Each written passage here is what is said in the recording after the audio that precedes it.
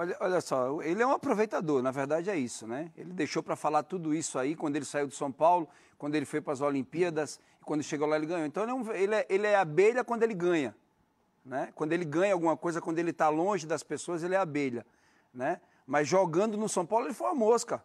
Ele só causou, só deixou prejuízo para São Paulo. Mosca que faz isso, entendeu? Chega em um ambiente, vai lá no ambiente sujo, torna mais sujo. Foi o que ele fez. Ele é uma vergonha. Hoje, hoje, como São Paulino, eu acho uma vergonha a passagem dele. Toda vez que ele abre a boca, vou usar uma frase do Romário.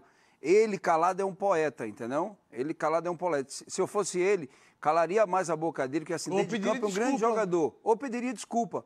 Porque é, muito, é muita falta de respeito, de hombridade dele, uma pessoa que quer mudar o país, que fala um monte de coisas lindas, dá uma declaração como essa. Muito respeito, né? É. Que respeita a camisa de São Paulo, Daniel. Se,